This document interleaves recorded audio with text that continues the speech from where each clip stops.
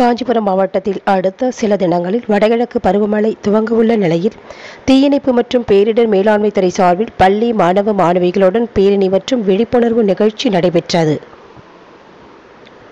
வட தமிழகத்தில் அதிக மழைப்பொழிவு பெய்து பொதுமக்களை பாதிக்கும் வகையில் மழைநீர் வெள்ளம் போல் ஆங்காங்கே தேங்கி பொதுமக்களுக்கு அவதியை ஏற்படுத்தும் நிலையில் ஏற்படும் வடகிழக்கு பருவமழை இம்மாதம் இறுதியில் துவங்க உள்ளதாக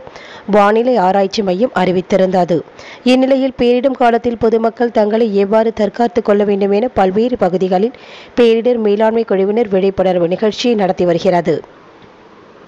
அந்த வகையில் காஞ்சிபுரம் மாவட்ட ஆட்சியர் வளாகத்தில் பள்ளி கல்லூரி மாணவ மாணவிகள் பேரிடர் காலத்தில் விழிப்புணர்வை ஏற்படுத்தும் வகையில் பதாகைகளை ஏந்தியவாறு பேரணியை காஞ்சிபுரம் மாவட்ட ஆட்சியர் கலைசெல்வி கொடியசைத்து துவக்கி வைத்தார்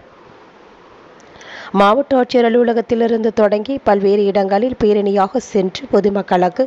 தொண்டு பிரசுரங்களை வழங்கி மீண்டும் மாவட்ட ஆட்சியர் வளாகத்தில் நிறைவு பெற்றது. மாவட்ட ஆட்சியர் வளாகத்தில் உள்ள பேரறிஞர் அண்ணா மைதானத்தில் தீயணைப்பு மீட்புத்துறை சார்பில் தீ விபத்து மற்றும் மழைக்கால பாதிப்பு உள்ளிட்ட பேரிடர் சமயங்களில் பாதுகாத்துக் கொள்வது குறித்து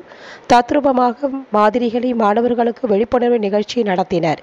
இதில் ஏராளமான பள்ளி மாணவ மாணவிகள் கலந்து கொண்டனர்.